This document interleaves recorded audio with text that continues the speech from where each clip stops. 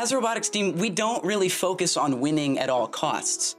Um, and that's what I think is great about this team is that we don't we don't focus on you know the adults make the design and the kids just kind of follow along and try to hang on by the seat of their pants. As president of the Woodlands Homeschoolers Robotics team, my job is to make sure that the team has fun, that we're productive, and that there is conflict resolution.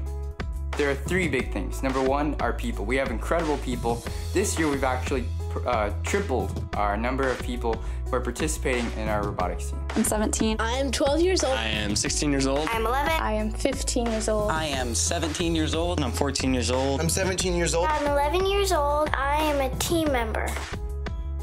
Our team is also student-led. That means that everything besides logistics, safety, and food is up to the students.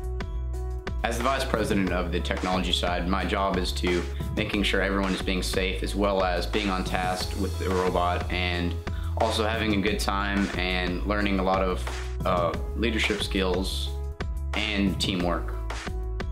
Well, we've divided the, the technology side into sub-teams and then we assign a sub-team leader and the sub-team has a particular task such as a cargo ball device, how to scale the pole, pulleys, wheels, arm, gripper, just about anything you can think of. Well, that's what we do. Well, as Communications Vice President, I'm in charge of overseeing things that we present to the judges. Now, the three main things I'm in charge of are the marketing presentation, the technical notebook, and the marketing display.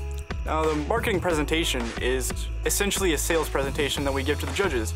We present ourselves as a company and sell them our product, the, robot that we've developed. Now, the students do this through uh, writing their own speeches and then dressing professionally, and then they practice giving it to actual companies, actual engineers in the field. And this allows them to really practice their public speaking skills and learn how to give a sales presentation. Now, the technical notebook is essentially an engineering log. It just lists out all the processes that we used and all the changes and revisions that we made to our designs. It's so that we can go back at the end of the year and see what worked and what didn't and use it again in future years. As marketing vice president, I coordinate and I lead all the meetings that we have, all the work that we get done. I am the head of everything that we do. We have given presentations to the community and we have worked a lot on our website this season, making it really good. And, you know, we basically just do all the outreach for the team and we show the world who we are and what we do. We've been doing robotics for about 12 years now. Our team actually started back in 2001. We had three families and four families and seven students. Uh, we did very well that year. And we didn't know what we were doing, but uh, had a great time and learned a lot. I've learned a lot from the Woodlands Homeschooler team.